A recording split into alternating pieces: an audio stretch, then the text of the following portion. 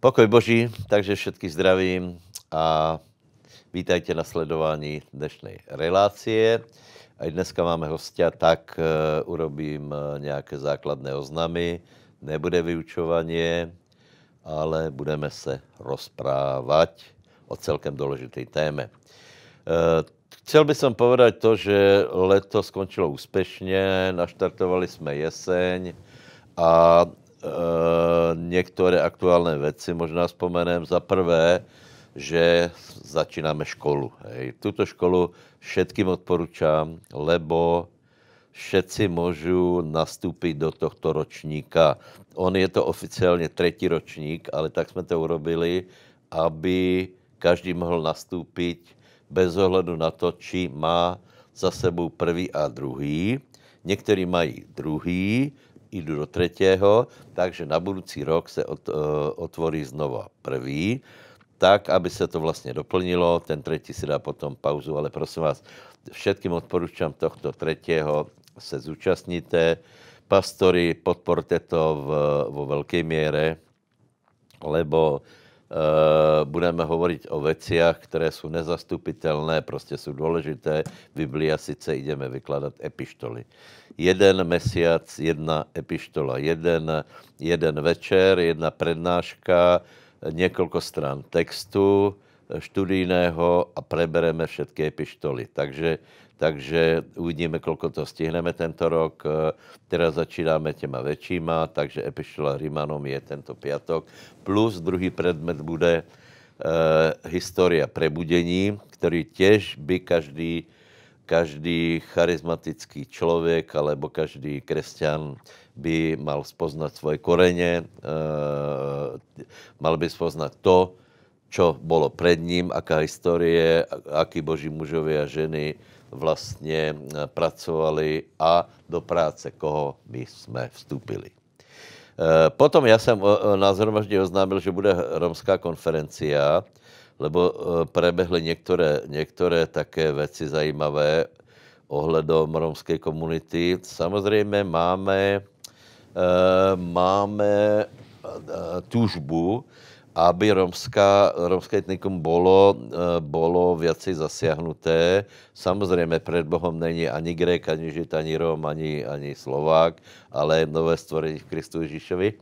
Ale predsa len určité spe, specifikum tam e, je, takže e, áno, chceme sa s nema viacej zaoberať, lebo tá práca, ktorú máme, není možná, eh, možná na počet taká veľká, ktoré, eh, ktorú máme v milosti, ale tí bratia, ktorí vedú romské zbory, to robia skvelo. Hej? Eh, robí, robí to velice poctivo a výsledky, ktoré dosahujú, pri kázaní Evangelia zmeny v životoch ľudí sú obrovské. Není to iba tak na, na získanie nejakej, nejakej zábavy alebo také, aby e, e, Boh sa ich dotkol iba okrajovo tých ľudí, alebo aby získali nejaké požehnanie, ale skutečne dochází k veľkým zmenám v živote. Takže myslím si, že na mieste, aby sme celú práci rozšírili. Hej preto som prišiel s myšlenkou urobiť romskú konferenciu, ale není to ešte úplne isté. E, myslím si, že bude v dohlednej dobe, ale e, to dátum, ktoré som oznámil, tak to zatiaľ e, to odsúváme. Ale namiesto toho chcem oznámiť jednu vec. V Banskej Bystrici robíme, robíme zmenu v organizácii zhromaždenia. Sice ostávajú dve, ostávajú dve z kapacitních dôvodov a nebudú už teda v nedelu jedno zhromaždenie a druhé, e, s tím, že mládež ostáva po obede, či se to posune, uvidíme, ale hlavně chcem povedať to, že 3.10. je prvá sobota, bude zhromaždenie v sobotu o 18. A v nedělu o 10. som na to velice zvedavý. E, e, celkom se na to těším. Já vás e, pozývám vás viacerých na to sobotné zhromaždění, lebo to bude vlastně také, také úvodné. E, bude to dobré, lebo já například se můžem připravit ze soboty na nedělu, zase, zase se soustředit na tu kázeň v nedělu a verím, že to bude pekné. Hej. Možná teraz spomenem to, že prebieha kampaň s Petrem Gamonsom, e, e, teraz se presúva do Čiech. Aj toto vám prosím vás velice odporúčam, lebo my sme mali skvelé zhromaždení s, s, s Pítrom. E, tak, ako to bolo to, čo už sme dlhú dobu potrebovali, lebo tá, tá korona skutečne utlmila církve a táto nedela byla plnotučná, lebo byly dvě plné zhromaždenia plus mládež, takže a Svetý duch skutečně se vylieval, ľudia se obrátili, bylo to, bylo to velice krásné. A takže navštivte tieto, tieto kampaně. Teraz nevím přesně, kde bude, ale pozrite si to na webe. Je to je v dobrej kondici, je pomazaný stále, je to vynikající služebník, takže velice odporučám. Keďže hovorím o Petrovi Gamancovi, tak chcem, chcem dať do pozornosti aspoň jednu jeho knižku, lebo už je posledná, ostatné sú vypredané. A spojím to s jednou knihou, která, ktorú e, e, odporúčam. Nepredáva se až tak veľa, lebo pravděpodobně tato generácia už nepozná otcov věry. Hej. Tuto knihu napísal jeden z, skutečně z největších božích mužů, volá se Oral Roberts. Kniha se volá Keď uvidíš neviditelné, dokážeš nemožné. Každý by si měl prečítať. A k tomu pridávám e, knižičku doktora Gamonce, trikrát o uzdravení, dokopy to dáme za eur 8. Takže objednávajte dáváme to spolu, aby, jsme, aby se oplatilo to baliť, aby, aby jsme neposílali zvlášť takéto, takéto knihy osobitně, takže toto odporúčam. Takže priatelia, eh, dneska máme hostia Miša Belka. Vítaj. Ďakujem. Príjemný dobrý deň. Já, ho, já jsem ho pozval, aby jsme hovorili o jedné oblasti, která, která je pre církev nesmírně důležitá, a to je evangelizácia. Hej? S tím, že evangelizáciu po určitej dobe církve vzdají. Hej? Soustředí se na ten, na ten uh, zborový život a misia se nějako vytratí. Hej? Takže opakujem, evangelizácia je misia, je životně důležitá pre každou církev. Na druhé straně nie je ľahké ten evangelizačný náboj, alebo to nadšenie, anebo teda ešte, ešte nadšenie navyše pretavit do praxe a do skutečnosti, aby církve rastly. Toto už vyžaduje e, nějakou námahu ale my víme, že Pán Ježíš nám to prikázal, preto to musíme, eh, musí ísť. Takže naše, eh, naše debata bude o misii, o evangelizačných aktivitách, ale tak jako vždycky, tak uh, Myšovi dáme, dáme priestor, aby nám povedal něco o, sebe. Samozřejmě začíná, zajímá nás trochu tvoj život a hlavně to, ako si se obratil k pánovi Ježíšovi. Uh-huh. OK, takže ďakujem. Ďakujem, že, ďakujem za pozvanie a ďakujem aj za to, že som tu mohol prísť a že môžem trošku o sebe hovoriť aj o tej uh, práci evangelistu alebo evangelizácie ako takej. Uh, takže o sebe. Uh, ja osobne som uh, nevyrastal nejako v kresťanskej rodine. Mm, moji rodičia boli ateisti, môj otec ešte doteraz uh, sa snaží byť ateistom, ale už, už verím, že sa to veľmi rýchlo zmení. Takže to je, uh, to je taký ten môj uh, začiatok, odkiaľ, odkiaľ pochádzam. A čo bolo uh, takým zlomovým okamihom, mám také tri milníky svojho života. Uh, jeden nastal v mojich 13 rokoch, sa stala taká vec, že bol som na uh, tábore, letnom tábore, a tam zomrelo jedno 18-ročné dievča. Zomrelo zo dňa na deň, Uh, neskôr sme zistili, že to bolo zápal mozgových blán, a, ale nikto nevedel vlastne, že kvôli čomu zomrela. Zomrela veľmi tak nešťastne, bolo to proste také smutné celé. A ja som sa osobne začal zamýšľať nad tým, že čo je ďalej, či je nejaký život po živote, či je nejaká väčnosť, lebo predtým som nikdy nad tým nerozmýšľal. Ale toto ma donútilo rozmýšľať, lebo som videl, že smrť nechodí po horách, ale chodí po ľuďoch a že môže človek zomrieť v kedykoľvek, proste, že to není nejak ohraničené vekom, ale že aj mladý človek môže zomrieť. Takže som začal rozmýšľať, čo je ďalej, či je niečo ďalej alebo nie.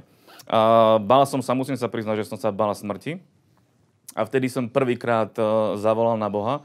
Dodnes si to pamätám, vtedy boli ešte také tie telefónne búdky a dotelefonoval som, bol som nahnevaný a zakričal som na Boha, že Bože, ak si, tak e, ma zachraň. Položil sluchátko, samozrejme, že na všetko som zabudol, ako som volal k Bohu, ale viem, že to bol prvý taký ten milník môjho života, kedy som prvýkrát zavolal na Boha. Potom som sa vrátil späť e, do školy. Zajímavé bolo, že e, v škole ja som chodil na klavír, hrával som na, na klavír a celku, celku som bol dobrý ale už som všetko zabudol, takže koutík, koutík Araby by som možno zahral. Ale čo bolo zaujímavé, že keď sme mali, bolo nás 30 v triede a hľadali sme učiteľku klavíru a prišla tam jedna mladé dievča, ktoré si zo všetkých všimlo práve mňa. Zo začiatku mne to imponovalo, lebo si hovorím, že asi som taký fešák, že si ma všimla, ale to nebol cieľ. Cieľ bol ten, že ona patrila do jednej skupiny, ktorá viem už teraz, že to je okultná skupina a ona si vypýtala všetky, všetky údaje o mne. Ona si zobrala moju adresu, zobrala si moje meno, zobrala si moju fotku. A následne potom oni, oni mali také večer seansy a oni sa modlili, alebo teda vysielali energiu, alebo vlastne také okultné praktiky robili. A ja som cítil, že môj život sa mení. Nevedel som o tom, čo sa deje, ale vedel som, že sa niečo deje. Neskôr som sa dozvedel, že čo sa deje a úprimne som sa zlakol lebo tým ľuďom nezáležalo, že čo sa deje so mnou, proste oni, oni chceli dosiahnuť svoj cieľ a neskôr som tiež pochopil, že to je vlastne cieľ okultizmu. Odrezať e, človeka od Boha, odrezať od, e, od proste normálneho života, proste ovládať na diálku. Čiže som zistil, že takto môj život je ovplyvňovaný a e, vtedy som sa zlakol a vtedy mi niekto povedal, že jediná možnosť, ako sa z toho dostať, spod vplyvu týchto okultných síl, je prísť k Bohu. Tak som sa raz rozhodol, že dobre, tak idem e, do kostola. Priznám sa, že nič iné som nepoznal v tej dobe. Nevedel som, že kresťanské spoločenstva existujú alebo nejaké iné, e, iné kresťanské spoločenstva alebo kresťania iní. Tak som išiel do kostola, e, sadol som si úplne dozadu a počúval som, čo bude pán Farár hovoriť. Priznám sa, nepamätám si. Nepamätám si, čo hovoril, ale je zaujímavé, že si pamätám to, čo prečítal z Biblie. A on čítal z listu Efežanom v 6. kapitole tam je napísané, že náš boj není proti telu a krvi, ale proti duchovným mocnostiam, knižatstvám, svetovládcom temnoty. A tiež je tam predtým napísané, že ak chcete odolať voči týmto zlým veciam, potrebujete celú výzbroj Božiu. A mne vtedy doslova poviem, že ako keby sa rozbrieždilo, alebo ako to mám nazvať, ja som zistil, že Boh je, zistil som, že je mocnejší a zistil som, že je mocnejší ako aj tie sily, ktoré eh, na mňa vplývali a ktorým som sa len tak mimochodom ja nevedel brániť. A zistil som, že on, on ma vie ochrániť, že on vie do môjho života zasiahnuť. Vtedy som uveril v Ježiša Krista ako v Božieho syna. A, ale priznám sa, že e, nemal som tú známosť, že ho mám nasledovať, že mám čítať Bibliu, e, že mám sa modliť, to som nevedel. E, takže som pokračoval vlastne tým istým spôsobom života, ako som žil dovtedy, ale s tým vedomím, že viem, že Boh je. A vedel som aj to, že, že je reálny, že, že zasahuje do môjho života a, a že má obrovskú moc. A považujem to za moje také znovu narodenie sa. Zistil som, že teda Boh je reálny. Ale žil som e, pôvodným spôsobom života. Až tak, že som chodil do kostola každú nedelu. Dokonca som chodil aj na mládež, ktorá bola v piatok. A... No, pardon, to bol katolický či evangelický? To bol evangelický, evangelický kostol. A chodil som pravidelne na, teda na, na tú mládež a z mládeže rovno som išiel na diskotéku. Čiže v piatok bola mládež, bolo skvelé takéto stretnutie, kde sme mali skvelé priateľstva. Ale hneď potom som išiel, išiel do, mm, na diskotéku, do baru, kde na začiatku to bolo nevinné, na začiatku som išiel iba si zatancovať, ale postupne to prerástlo do toho, že už tam bol alkohol, potom to prerástlo do toho, že som mal vzťah, potom následne to prerastlo až do takého, že, že s tou priateľkou vtedy uh, sme začali žiť, ako žijú manželia a tak ďalej a tak ďalej. Čiže všetko to úplne išlo ako keby uh, dolu vodou, celý ten môj... Uh, A priateľka chodila tiež do kostola? nie, nie, ona práve, že bola z toho, z toho, uh, z toho baru, kde som si ju našiel. No a, ale už potom to bolo také, že s ňou som trávil čas a mm, do kostola som prestal chodiť. Hej. Lebo, lebo ona bola dôležitejšia v tom čase. A takto sme žili niekoľko rokov. Hej. To bolo, ja neviem, niekoľko rokov, ale ja som žil s tým vedomím, že ja viem, že hreším, viem, že keby vtedy prišiel koniec môjho života, tak ja idem rovno do, do zatratenia, lebo to vedomie som mal, že, že Boh je svetý a že ja som uh, hriešný. A ešte keď som to týmto dynamizoval, že som hrešil aj s ňou, tak to bolo, to bolo celé zlé. No a v tom, v tom období som tak kričal na Boha, že Bože, ja chcem uh, z toho nejak výjsť von. Uh, proste to boli také tie také výkriky a Boh ma počul a nejaké veci sa udiali a sme sa rozišli s tou priateľkou a ja si pamätám, že vtedy som sa rozhodol, že dobre, teraz zahadzujem všetko to, čo som, ako som žil a idem naplno žiť, e, žiť pre teba, pre Boha. Ja som to tak Bohu povedal. A začal som chodiť pravidelne do, e, do kostola. Problém bol, že v kostole som nevedel, nebola tam moc. Nevedel som o Svetom duchu, nevedel som o Božej moci, nevedel som o tom, že Svetý duch dáva silu na to, aby som vedel vzdorovať hriechu. Čiže ja som hrešil, ale zároveň hneď z toho som činil pokánie, lebo som sa nevedel niektorých vecí vymaniť. A už, už som toho mal dosť, tak som kričal k Bohu, že Bože, vysloboď ma aj z tohto. A vtedy ma jeden priateľ zavolal na zhromaždenie eh, kresťanského spoločenstva, Milosť, a kde ma postavil úplne do stredu zhromaždenia a eh, hovorí, že teraz bude skvelé zhromaždenie. To zhromaždenie bolo fakt vzrušujúce, lebo Svetý duch zostúpil. Všetko to bolo také, že hučalo to tam.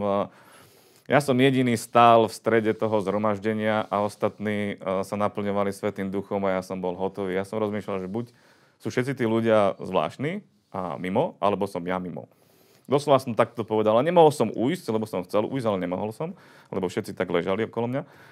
A si hovorím, že toto, bude, toto je nejaké, nejaké také zvláštne. A ten môj kamarát, ktorý ma doviedol, tak ten hovorí, počkaj, počkaj, počkaj, keď bude, keď bude kázeň, počkaj, počkaj, počkaj. Tak som hovoril, tak dobre, tak som to nejak vydržal. A potom e, začala kázeň a pamätám si, že kázateľ kázal tak, tak trefne, tak priamo ku mne, že ja som e, normálne rozumel a pochopil som to, že, že Boh sa k človeku prihovára, že, že vie o ňom, že vie, čo prežíval, lebo ja som niečo prežíval a ten kazateľ uh, skrze Svetého Ducha úplne triafal moju situáciu, môj život a ja som hovoril, že tu je Boh, tu Boh koná, tu Boh sa prihovára k ľuďom, tu sú životy zmenené, lebo ja cítim, že môj život sa mení na základe toho, čo som počul. A to bol prvý taký, ja, ja to považujem za, za obrátenie, za skutočné obrátenie, kedy som sa obrátil k Bohu. Následne som pochopil, že Svetý Duch je vyučovanie, lebo som už začal chodiť do kresťanského spoločenstva, čiže som začal počuť o, o Svetom Duchu. Následne som sa naplnil Svetým Duchom a potom som sa rozhodol, že idem chodiť naplno, že, že chcem hľadať Boha naplno a začal som chodiť do kresťanského spoločenstva. Odtedy uh, žijem s Bohom, je to, je to veľa rokov, už ja neviem, je to veľa rokov. Krásne. Já možná doplním, že, že ano, skutečně eh, Božá ruka je na tebe, eh, stal se z tebe služebník. Možná ještě prezradím, že jsi ženatý, zobral si si požehnanou služebnicu, Áno, áno. máš dvě děti, študoval si na St. Pál, Áno. takže, takže skutečně jako to ovoce života, ovoce obrátěnia tam je. No a teraz teda prejdeme k téme, a to je misia evangelizácia. Já to zopakuju, zopakujem, pardon. Eh, A sice, sice zopakujem to, že po určitej dobe aj církve, ktoré boli zpočiatku nadšené, hej, pre to, že máme získavať učeníkov, vie každý. Hej. Každý to vie, ale eh, po určitej dobe eh, tato snaha nejako vyšumí, maximálně někdy se urobí nějaká kázeň, že mali by jsme, bratia, mali by jsme, ale není v tom ani sila, ani to ľudia nemyslí vážně, že by skutečně ten, ta skupina alebo ta církev znovu začala napredovat. No, takže já bych som, já bych som vysvětlil nej, najprv svoje chápanie služeb, hej, lebo dostávám na to otázky, hej. Aj nakonec, nakonec jsme e, zažili určité e, aj pnutia. E, klasická, klasická církev alebo denominácia je e, založená na tom, že se, že se e, založí jednotlivé sbory tejto denominácie, které mají veľa společného, nielen, nielen jméno denominum, ale mají svoje, svoje charakteristické e, črty, které jsou nakonec dané do nějaké ústavy, e, nielen iba to, čo veria, hej, lebo to je celkom jednoduché, ale, ale prostě je, je tam aj prax, jsou tam dôrazy, a e, tieto, tieto zbory sú rovnaké nebo velice podobné. A samozřejmě potom, e, potom například dochází k tomu, že v jednom, v jednom mestě je taký istý zbor, jako je někde jinde. Hej. E, problém je, že to, že to začne stagnovat. A v lepšom případě. Někdy, někdy se to úplně úplně začíná rozkladat, eh, eh, dostane se to do tradície, dostane se to do stereotypu, do zvlažnění, odchladnutie a většinou tě, eh, těto sbory nevidě udržet ani svoje děti pri pánovi, hej. Tak preto si myslím, že tento model není velmi dobrý, hej. Lebo, lebo ľudia nie sú vázaní na denomináciu, alebo ľudia ne, nenasledujú církev, ale ľudia nasledujú samozrejme Ježíša, ale cez konkrétnych ľudí. Preto, e, preto jsem začal podporovat služebnosti. Služebnosti. Já, já podporujem e, ľudí, jednotlivých ľudí. Hej? E, a snažím se, aby vyrástli jako služebníci, aby jejich potenciál se rozvinul.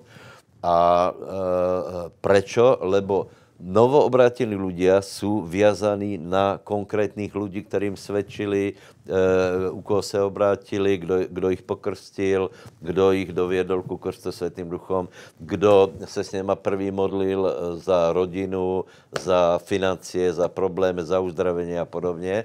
A toto, toto je velice mocné. Hej? A teraz, e, v klasickej církvi by člověk, keď, keď například býva, obrátí se a bývá v jinom městě, tak samozřejmě pošleme ho do také isté církve, která je, hej.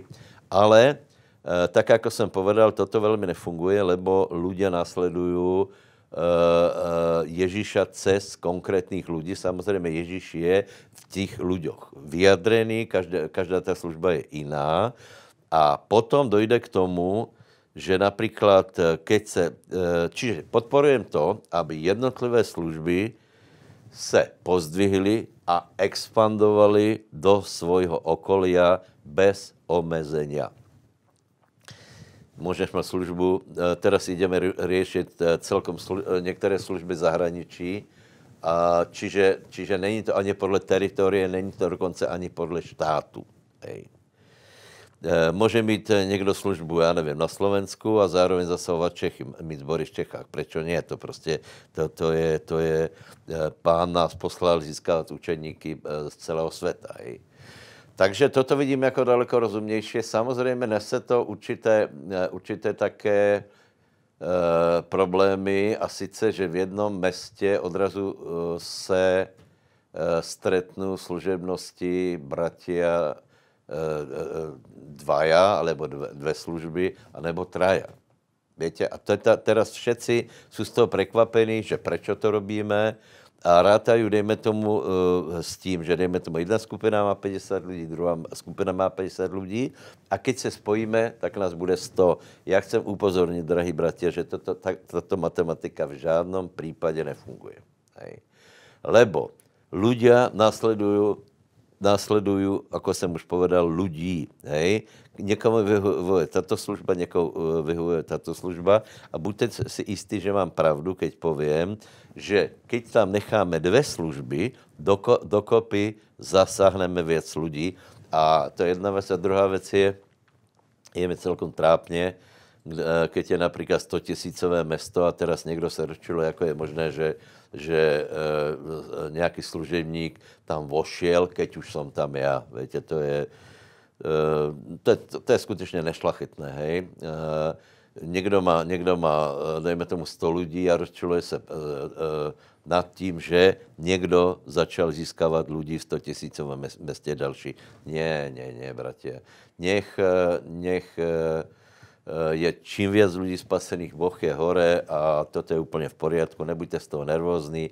Máme dohodnuté pravidla, aby ľudia to nezneužívali, že je viacero církví, aby nemigrovali, aby, aby eh, dejme tomu, ak chcú prejsť z jednoho zboru za, eh, do druhého, nech, ne, že by to bylo nemožné, ale nech to má svoje pravidla, hej, a nech hlavně žijeme v pokoji a získáváme, získáváme ľudí. Dobre.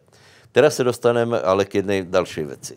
Toto, o čem hovorím, to je, to je hlavně práce služebníkov, eh, pastorov alebo takých pionierov, hej, ktorí prostě založí, založí, založí jeden zbor, potom druhý, tretí, založí e, hrozen taký, alebo štruktúru, která potom je zastrešená, eh, zastrešená Eh, eh, v, v našem případě mojí službou, hej, ale opakujem, já cítím svoji službu právě v tom, že podporujem služebnosti jiné, hej.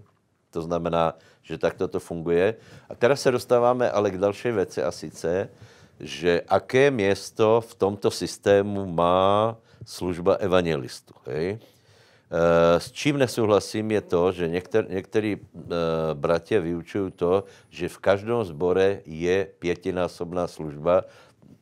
V žádném případě to nemůže být, lebo uh, evangelista, prorok, učitel, pastor, pastor čo ještě?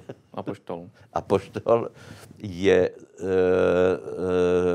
je, je vzácná služba a nemůžeme to devalvovat. Nemůžeme hockoho, hockoho vyhlásit za apoštola, hockoho za proroka. Toto je prosím vás směšné a těž nefunguje to. Svetý duch to, keď já povím, nefunguje to, znamená, eh, chcem tím povedat tím, že to, že Svetý duch to nepotvrzuje. Hej.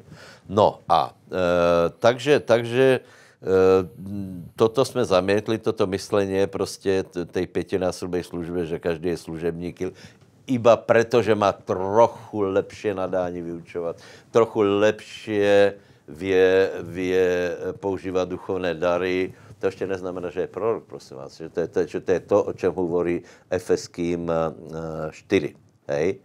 Ale na druhé straně ta, ta, ta kapitola, tam je tých, ta pětinásobná, nebo čtyř, nebo pětinásobná, záleží, jak to rozdělíme, je, je skutečně v Biblii. To znamená, že my musíme a riešime to v, tejto, v tento čas, ako do této štruktúry podle Božího poriadku e, môžeme zakomponovat službu evangelistov. Hej v našej, v našej, uh, v našich podmienkách to vůbec není jednoduché. Já například tvrdím, že keby byl Bonke Slovák, tak by nikdy ne, nemal takovou službu, jako má, lebo denominácie by ho nepustili, neuvolnili by ho, nedovolili by, nedovolili by jeho rozvoj. On by ne, nemohl prerast svoji denominaci. On by tam byl někde, Někde by to dotáhl na staršího, anebo na predsedu rady, to je, to je všetko, ale nikdy by eh, nevznikla taká, eh, taká eh, obrovská služba. A takže v církvi to je celkom komplikované a nejsme, nemáme západné myslenie, že někdo například založí službu ministrís, který je rediteľom, který, který prostě robí všetko, odvolává ľudí, e, vyberá si ľudí, vyberá si spolupracovníkov čiže toto v našich podmienkách není a dlhodobo ešte nebude. A aj tak musíme nájsť cestu preto, aby ľudia, ktorí mají evangelizačné obdarovanie, ho se mohli rozvinúť. Myslím si, že prvý, prvý člověk, o ktorom jsme, kterého jsme začali takto vnímat, je právě Mišo. Hej? A já jsem vlastně inicioval to, aby Mišo založil misijnou organizáciu a to by prostě nemohl urobit sám, nebo by to urobit v, v, v církvi, která by nebyla dobře postavená. A začali jsme, založili jsme misijnou organizaci Harvest. Nech je každému jasné. Tato organizácia je včleněná pod moju službu a tato organizácia pracuje preto, aby získávala ľudí pre Krista, učeníkov a títo učeníci, aby boli v konkrétnych zboroch pod konkrétnyma službami. Takže, takže uh, uh, takto, takto vznikla uh, misijní organizace Harvest. Ešte sa k tomu potom vrátim. Ale keďže máme hosta, tak nám teraz uh, priestor Mišovi, aby niečo o Harvestu povedal. Hej? Mm-hmm. Mm, áno, presne takto začalo. Dodnes si pamätám ten deň. Um, ja som cítil, že mám kázať evanelium. Uh, ja som volal k Bohu, lebo som hľadal, že čo mám robiť. Uh, doslova viem, že Boh sa ku mne prihovoril a povedal, uh, rob evangelizácie, lebo kázať evanelium treba vždy. Tak som poslúchol, začal som robiť evangelizácie a dodnes si pamätám, bol som uh, v ako je múzeum SMP, tu v Banskej Bystrici, pod tým je taký park. A ja som samozrejme v ten deň išiel zase kázať uh, ľuďom, lebo som proste chcel rozvíjať to, čo, to, čo som nejak cítil, že, že mám robiť. Uh, tak som kázal s dvoma mladými chalanmi, dodnes si to pamätám, a volal mi pastor Jardo, že, že teda... Um, no volal mi najskôr, no, tam ti nezdvihol, lebo som sa rozprával s ľuďmi, ale potom som dovolal a uh, som ti zavolal alebo teda dorozprával som sa, uh, zavolal som ti a ty si mi vtedy povedal, že treba ísť e, do nejakých českých miest a že mám zohnať ľudí a že tam mám vycestovať a že budeme kázať evanelium. Boli to dva mesta v Čechách a mal to byť týždeň. A bolo to vzrušujúce, lebo ja som vôbec nevedel, čo mám robiť a nevedel som, že koho mám zobrať, ale nejak sa to vyformovalo. Modlil som sa a Boh dal aj ľudí. No a takto sme začali e, tú celú službu. Tak, ako teraz už vyzerá a tak, ako teraz fungujeme, je vďaka tým šiestim rokom, ktoré uh, ako funguje Harvest. Harvest funguje teda nejakých 6 rokov. A na začiatku to bolo tak, že sme teda vychádzali na nejaké 3 dni, sme išli na nejaké konkrétne miesta. Tam sme, tam sme kázali, najskôr to bolo osobne, uh, tvárov tvár, potom sme pozývali na večerné zhromaždenia a uh, to sa rozvíjalo. Stále sme to vedeli robiť lepšie a lepšie. A ďalšia vec, aj tie zhromaždenia večerné boli uh, stále lepšie a lepšie. A rástli sme. Môžem povedať, že máme minimálne, čo máme. Uh, máme 6 rokov, 6-ročnú skúsenosť, uh, čo je dobré a čo je zlé. Máme uh, tisíce rozhovorov za sebou, rozhovory s ľuďmi tisíce kázni, takých tých malých, čo sme kázali na uliciach, aj večer. Môžem povedať, že možno stovky až tisíce akcií, ktoré sme urobili. A to skutočne je niečo, čo, čo sme prežili a máme určite skúsenosti, ktoré sme prijali cez tú službu, ktorú sme, ktorú sme robili. A čo sa týka toho harvestu, jednoznačne ja vnímam to, že chceme zakladať zbory, chceme rozširovať tú prácu, ktorá je tu na Banskej Bystrici.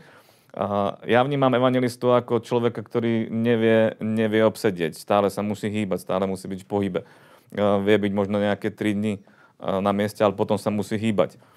A, a, takže ja by som už aj teraz e, zakladal nejakde misiu na Honolulu, ale rozumiem to, že je dôležité práve to, že e, miestny zbor musí rásť, musí rásť región, a takto ísť do celého sveta, čiže to je aj taká možno vízia do budúcna. Dobre, ja by som eh, chcel povedať, že, lebo tiež som dostal otázku na, na to minule, minule tu byl pastor Petr Kuba. Na otázku na to, na to, lebo on založil tiež misijnú organizáciu e, Zasiahnuť svet. Hej. Má preto svoje myšlenky, svoju víziu a e, je to úplně v poriadku. Hej. E, velmi se z toho těšíme. Má zase iné myšlenky, jako například my, alebo Mišo. No a e, čo chcem povedať, hej, pre vás, pre, pre veriacích, v, zejména v těch väčších zboroch, hej. Prosím vás, ten Harvest byl založený samozřejmě na to, aby pomáhal s misiou, aby pomáhal v jednotlivých zboroch, ale pozor, e, práca evangelistů je aj v tom, že naštartuje misiu v tých zboroch. Hej? A chcem povedať, že některé zbory se k tomu postavili nesprávně, lebo přišel Harvest, povedzme, v nějakom počte a e, místní veriaci byli, byli prítomní v práci v počte oveľa menšom. Hej? Tak to vůbec nebylo myslené, lebo práce evangelistu je, aby organizoval, aby odovzdával zkušenosti, aby, poviem tak, nakopol prácu v tých zboroch. Někteří to využili, tak jako jsem povedal, že, že e, e, pastor Peťo už teraz e, e, ide mať týmy, ale někteří to nevyužili a e, čakáte, že Harvest tam bude stále docházet a robit tu misiu za vás. To nebylo myslené, hej. Eh, chceme, ak budeme eh, pomáhat, tak budeme pomáhat sborom menším, alebo tam, kde ta práce vlastně začíná. Hej? Eh, a pozvání do velkých zborů, které už by mohly sami mať misiu, tak samozřejmě bude, ale, ale budeme to obmezovat a budeme organizovat globálne akcie. Hej? Ve spolupráci teda se všetkými zborama to pokračuje ďalej. Například prebehol One Way Fest čo hovoríš o ňo, na, na, na ňom? Na, Ten na bol mimoriadný. Ja, ja ho hodnotím ako za prielomový, lebo sme urobili veľkú akciu. Uh, ako si aj vravel, že sa to, na tom podielalo viacero tímov, viacero zborov, uh, najmä teda Bystrický a Nitrianský, ktorí uh, hlavne ako, ako keby to uh, na tom pracovali. A bola to mimoriadná vec. Uh, s takýmto festivalom vieme zasiahnuť celé mesto to si myslím, že to je naším Já tě preruším, cílem. já jsem to vravil aj minulé. E, trochu, trochu nás zaskočilo to, že některé zbory to za svoje nezobrali, ale zároveň bych chceli, aby e, přišel někdo jim robit misiu. Hej? Není, možné, není možné. Treba podporovat misiu ve všeobecnosti, takže veríme, že, že budoucí, budoucí One Way Fest bude oveľa, oveľa o inom. Toto bylo skvělé, ale ten další bude, nebo další budúci rok budú dva, dá, to bude úplne o inom. A bolo to také, že uh, skutočne sme zasiahli celé to mesto a to je vlastne cieľ, lebo tak ja vnímam aj evangelizáciu v tejto dobe, že treba zväčšiť ten vplyv uh, kázania evanília, že je super kázať tvárov v tvár, uh, to robíme, ale zistil som, že uh, je to obmedzené. My sme zvykli chodiť na 6 hodín do mesta, na ulicu a keď nás bolo, ja neviem, 10, tak počas jednej hodiny som to normálne odstopol. Počas jednej hodiny vieme mať 4 dobré rozhovory, čo je 6x4, 24 ľudí vieme osloviť počas treba z jedného dňa jeden človek. Takže skutočne do, dobré a že odozdá celé evanilium.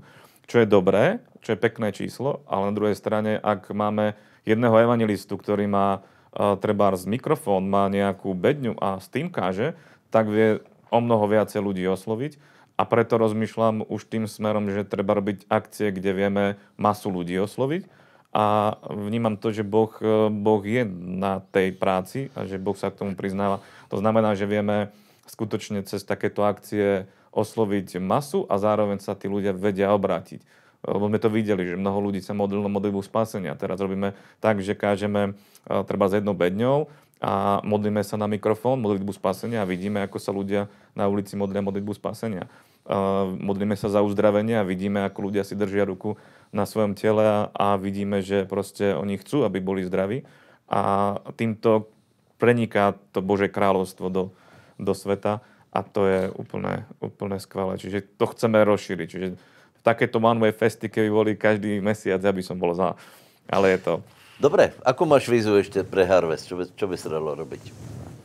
Uh, to, čo, to, čo ja mám teraz víziu, je, že máme už určitých ľudí, ktorí sú uh, schopní pri, pri tej práci na ulici sa vyformovali už tí ľudia, ktorí majú keby obdarovanie na nejakú konkrétnu vec. Uh, aspoň ja ich tak vnímam, že niekto vie treba zorganizovať vec. Ďalší vie skvele kázať na ulici v rámci mladých ľudí. Do toho vie treba aj tancovať. A, uh, a toto vieme urobiť. Čiže ja už by som to chcel urobiť tak, že by som chcel týchto ľudí posielať viacej na, na konkrétne miesta, aby sa pripravovali potom zároveň, mám takú víziu, že týždeň budú na jednom mieste, kázať na ulici budú v rámci nášho regiónu, v jednom meste budú týždeň na ulici a vyvrcholí to jednou veľkou evangelizáciou, kde uh, už bude večer kapela, kde bude večer kázané evangelium, kde sa budeme modliť za chorých a tak ďalej a títo e, bratia budú pracovať počas celého týždňa na tejto, na tejto práci. A takto by sme to chceli, e, nech sa to rozširuje, čiže taký veľký kombajn urobiť. Do toho auto. Do no, toho, som sa chcel spýtať, že pick-up nič. Pick-up, pick-up a, a do toho nasačkovať e, dobrých kazateľov a, a ideme a po celom svete. Celú Európu. Už máš, vybratý, už máš vybratý auto. No viem, ktorý chcem. Viem aj, akú má mať farbu. Viem. Áno. Je krásne. Prosím ťa, pozbuď alebo povedz, hej, e, lebo, lebo ja teda uh, poviem, že, že poviem to tak normálne klobúk dole pred tou prácou na ulici, lebo nie každý je na to prostě, aby šel mezi ľudí a teraz se s nima rozprával. Hej, musí prekonat, uh, já nevím, ostých a je to také, je mu to čudné.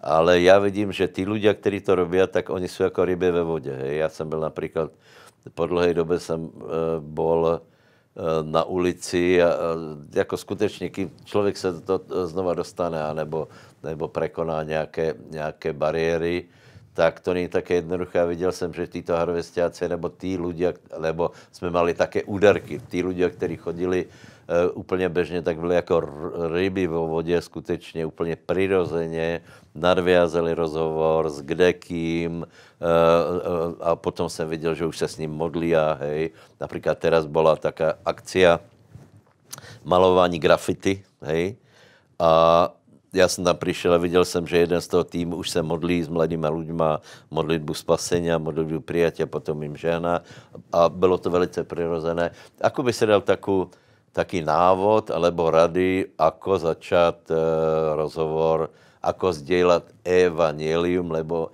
evangelium, které není sdělané, není evangelium, že? To je, e, to nič neprinese. Ako?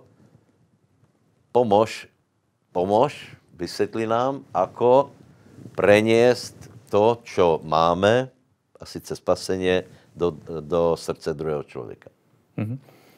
Uh, ono to je možno jednoduchšie, než, než, než sa zdá. Uh, prvé, čo človek musí zmeniť, je práve ten pohľad na to, že keď ja idem k človeku, tak uh, že ten človek nechce počuť evanelium. To není pravda. Uh, ľudia chcú počuť evanelium dôležité je, že ako ho ja odkomunikujem. To je asi, asi, dôle, nie, že asi také najdôležitejšie, lebo ja som uh, uveril tomu, že Bože slovo hovorí, že Evangelium je Božou mocom na spasenie každému, kto verí. A to znamená, že v prvom rade ja musím veriť, že to posolstvo, ktoré mám, je dobré a že tí ľudia, ktorí idú okolo mňa, ho potrebujú počuť. Samozrejme, že oni musia vierou reagovať na to posolstvo, ale ja musím veriť tomu, že mám dôležitý odkaz a že ten odkaz potrebujem odozdať ľuďom. A teraz uh, také rady, že ako osloviť človeka, ja hovorím každému, že buď príjemný. Uh, to je, to je asi, asi základ, lebo uh, my veľakrát, alebo teda všimol som si, že veľakrát ľudia sa nedostanú ani k slovu, lebo ich vystupovanie alebo prichádzanie k, tým človek, k tomu človeku je takým postojom, že vlastne oni veria, že ten človek to nechce počuť. A, čiže je dobré možno prísť tým, že, že byť príjemný, príjemne osloviť toho človeka, byť usmiatý, lebo niekto povedal, že 2-3 sekundy uh, sa človek rozhodne, že či toho človeka príjme alebo nie. Čiže príjemné vystupovanie asi prvý bod. Možno by človek čakal nejaké duchovné, také, že, že modliť sa a že nech príde pomazanie. Áno, samozrejme.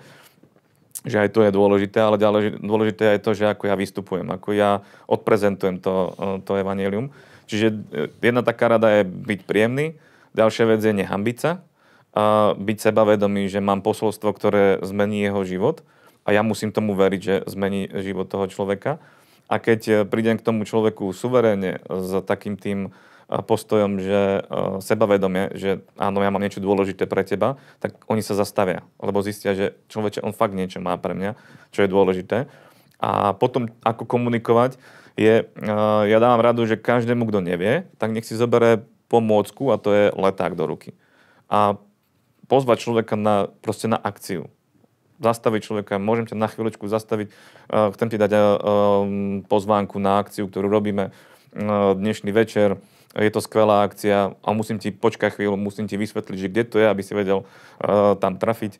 A týmto premostím k tomu, že potom sa toho človeka rovno spýtam, že mu poviem, že priateľu, aby si vedel, kam ideš, je to kresťanská akcia a neviem, aký je tvoj svetonázor, ale možno to je moja otázka na teba, že či veríš tomu, že Boh je. A oni väčšinou sa rozho- rozhovoria a začnú hovoriť, buď povedia áno, alebo povedia nie. A už z toho sa dá s tými ľuďmi pracovať. Dobre, máš nejaké, nejaký príklad, taký mimoriadný, že, si, že niekoho si oslovil a, a hned sa obrátil, alebo byl úplne, úplne taký hladný po evanelium? Áno, to mám uh, tak čerstvo asi minulý týždeň sme boli na, na akcii, bolo to v Žiline. A, a chceli sme ísť pôvodne s, s reprákom, ale bola na námestí mm, iná akcia, čiže bol tam postavené pódium a, a, a nejaký deň zdravia, či čo to bolo. Tak sme išli tak zase tým našim spôsobom, že od, od lavičky k lavičke. A, a to bolo veľmi zaujímavé, lebo boli tam také páriky, alebo takí vždy po dvoch boli. A tak sme s nimi začali sa rozprávať, že ich pozývame na akciu a tak ďalej a tak ďalej. A normálne boli také, tak to bolo, že v polke toho rozhovoru uh, sa to prelomilo a tí ľudia, lebo na ľuďoch vidno, že keď to počúva, čo hovoríme. Uh, no ma nebolo zjavné, že, že oni počúvali, pozerali a viacero takých spätných vecí sme, sme mali, kedy povedala jedna, napríklad jedno dievča povedalo, človeče, ja budem celý večer o tom rozmýšľať. A to bolo tak dobré, lebo to vidno, že sme trafili srdce a že, že bude ona tým rozmýšľať. Ďalšia povedala, jedna dievčina tiež hovorí, že a čo teda mám robiť? Že čo mám urobiť s tým všetkým, čo som počula. A tým sa dá už premostiť k modlitbe spasenia. A, a takto, takéto, takýchto veľa je takých, takých svedectiev. Mm, ďalšia možno ani tak nenapadá, ale boli také aj, kde boli slovo poznania, kde sme konkrétne hovorili o konkrétnych veciach, že máš takú a taký problém. To som sa práve chcel spýtať, ako duchovné dary, lebo viete, samozrejme duchovné dary to je vec, e, e, ktorú by, by chcel každý kresťan. Hej. No ale tá tužba není, není samozrejme není zlá, hej. Eh, Biblia hovorí, že máme túžiť po duchovných darech, ale eh, je tam, eh, ľudia to obyčejne zle chápu, lebo si myslí, že duchovné dary slúží prostě na ich osobný rozvoj, hej. Áno, sú niektoré, ktoré, ktoré slúží ozaj na, na osobný rozvoj, hej. Ale e, e, duchovné dary slúží práve na to, aby se šírilo evangelium, sú na budovanie, čiže sú na to, aby ľudia boli oslovení, aby uverili, aby bylo slovo sprevázané eh, Božou, eh, Božou mocou a sú na to, aby se budovala církev. Takže ako fungujú napríklad, preto, preto si myslím, že duchovné, ne, že si myslím, ale Biblia hovorí, že duchovné dary daleko viac pôsobia vtedy, nebo pôsobia vtedy, keď my budujeme církev, keď získáváme ľudí. Čiže ne pre osobný nejaký rozvoj, ale preto, aby sme získali ľudí. Takže ako napríklad fungujú v tvojej službe? Dobrá otázka. Uh, uh, a ja sa ešte v tom uh, učím, ale už niektoré veci sme skutočne uh, sa naučili. Uh, napríklad slovo poznania, slovo múdrosti. Uh, to sú vzrušujúce veci, keď Boh dá konkrétnu myšlienku, konkrétnu vec, ktorú treba ten daný človek prežíva. Alebo presnejšie konkrétne takéto zjavenie, že čo človeka bolí, čo je problém, zdravotný problém. čiže tieto, tieto veci tak nejak sme sa naučili vnímať. Stalo sa mi raz, že uh, som išiel na večerné zhromaždenie, boli sme na nejakom mieste, bolo to v Čechách, a sme kázali počas, počas dňa večer som sa predtým, než bola akcia, som sa modlil, že Bože, prosím ťa, aby si mi ukázal aj veci, ktoré, ktoré sú dôležité a ktoré treba, treba vyzdvihnúť a dámy páni aj slovo poznania a slovo múdrosti. A v tom počas zhromaždenia normálne som vnímal, že sú tam ľudia, ktorých napríklad mali bolesť v boku. A ďalší, že mal niekto problém s, s žalúdkom a s črevami. A potom konkrétni ľudia prišli na modlitbu a normálne boli tak, že šokovaní, že ako to vieš, tým, tým štýlom. A to je, to, je, to je vzrušujúce. Lebo keď, ak tak ako si povedal, že keď slúžime a keď kážeme evanelium, tak na to sú dané tie dary. Aspoň ja ich tak vnímam, že nie budem doma sedieť a budem teraz prorokovať, ale je to o tom, že keď sme v akcii, tak mnohokrát človek si ani neuvedomí, že, že hovorí treba pod vedením Svetého Ducha, ale tak ako keby spontánne, že sme jedno so Svetým Duchom alebo Svetý Duch je v nás a žije v nás a sme zjednotení s ním a keď on hovorí, tak hovorí skrze nás a mnohokrát proste niektoré veci hovoríme a hovoríme úplne priamo do srdca a neviem to možno niekedy ani rozlišiť, že to je slovo poznania, slovo mudrosti alebo proroctvo, ale zároveň to priamo zasahuje tie srdcia ľudí a ľudské životy sú menené. Tiež dary, dary uzdravovania, viera, to je to isté dar viery, to mimoriadne, keď človek verí, že, že sa stane proste to, za čo sa modlíme. A to sú veľa takých, takých zrušujúcich vecí, čo odporúčam každému, aby išiel kázať Evangelium. Ak chce zažívať Božiu moc a dary Svetého Ducha, ide kázať Evangelium a tam sa to prejaví 100%.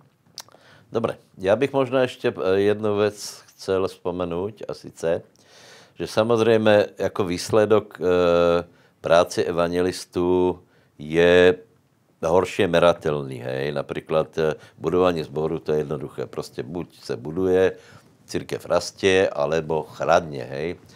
Dobre, ešte možná jednu vec. Eh, práce evangelisty je ťažko meratelná, hej, teda, teda ten úspech, hej, lebo prostě on káže, uh, ľudia se obrát, obrátia, hej, ale či se ozaj obrátili, ako to s něma je, to už je taký faktor, to, to som tiež povedal zle.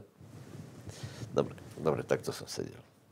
Dobre, ešte by som možno spomenul jednu vec, hej. E, ako zmerať, či ta práce je úspešná, hej. E, jeden parametr je štatistika, koľko ľuďom sme kázali, koľko ľudí se obrátilo, koľko ľudí vyznalo Pána Ježíša Krista, koľko ľudí e, e, vyplnil nejakú kartičku. Toto je všetko dobré, áno, bez toho nejde nič, to je začiatok, hej.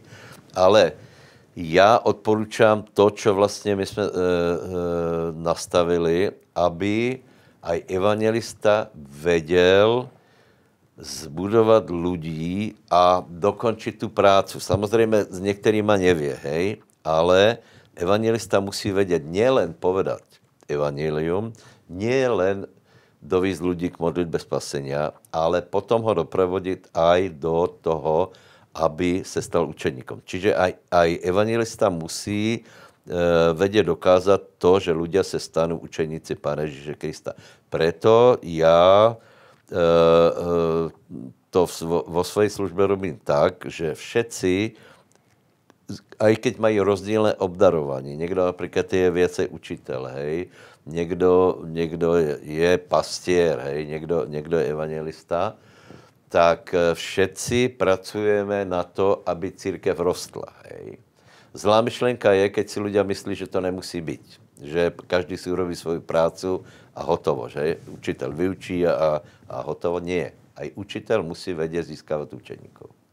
To, že se to neděje, je velká, to je nedostatek, hej.